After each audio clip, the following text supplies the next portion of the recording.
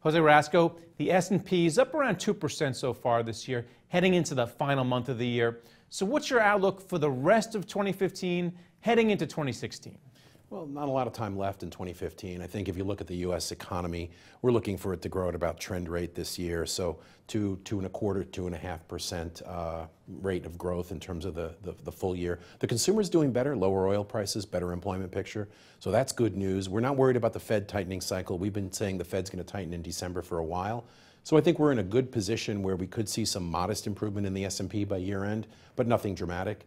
Uh, the most important piece being two things. Number one is the dollar, where it goes, what it means for profitability. And second, where does the consumer go? And I think with a good job market and lower oil prices, consumer spending should do better than, than uh, it has been doing over the last six months.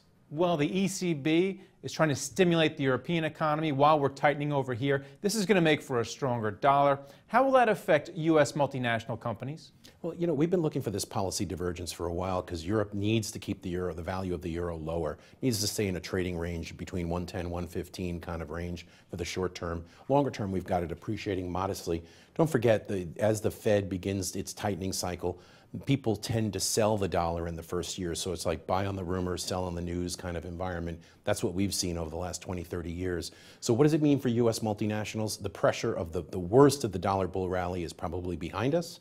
The key for multinationals is not just the dollar, it's about foreign growth. And there we think we'll get some respite next year. We think we'll see some modest improvement in, in global growth especially in the emerging markets where some of those economies that have really been battered over the last couple of years should begin a, a, small turnaround, which is better for U.S. exports and better for global trade. Let's stay with the emerging markets. If we get, and people expect it to happen, a Fed rate hike in December, right. uh, continuing on through 2016, how will this affect places like China in the emerging markets? Because typically or historically, rate hikes here have hurt them uh, inordinately. Yeah, well, I think if you look historically, rate hikes have been far more severe.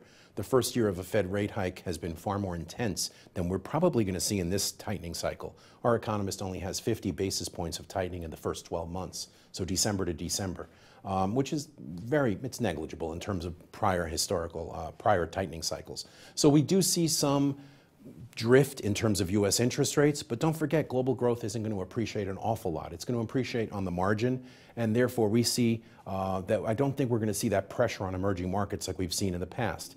Moreover, what we've seen in the last six to 12 months has been this huge fall in commodity prices and therefore a weakening in domestic demand in a lot of those economies.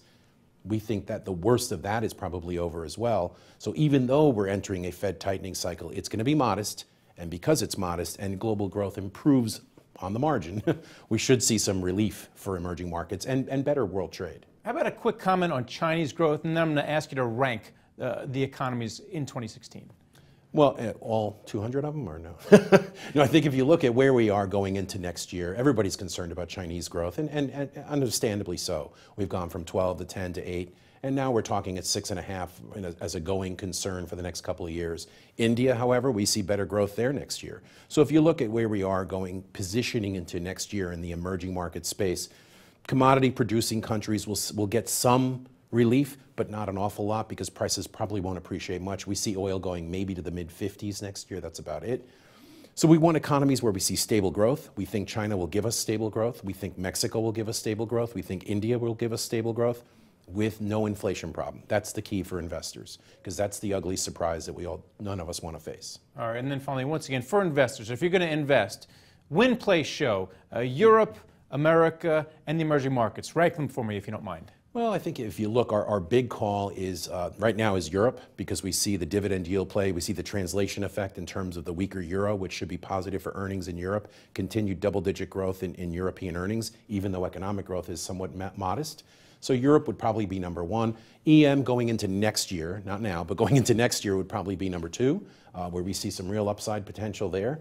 And prices don't have to move a lot for that to improve because we're seeing marginal improvement in economic growth and economic activity. And then the US would be third, where we're seeing stable growth, two and a quarter, two and a half percent, no inflation problem per se, um, certainly not a wage price spiral, a modest improvement in, in, inflation or acceleration in inflation. And markets should be relatively stable, a mid single digit kind of return.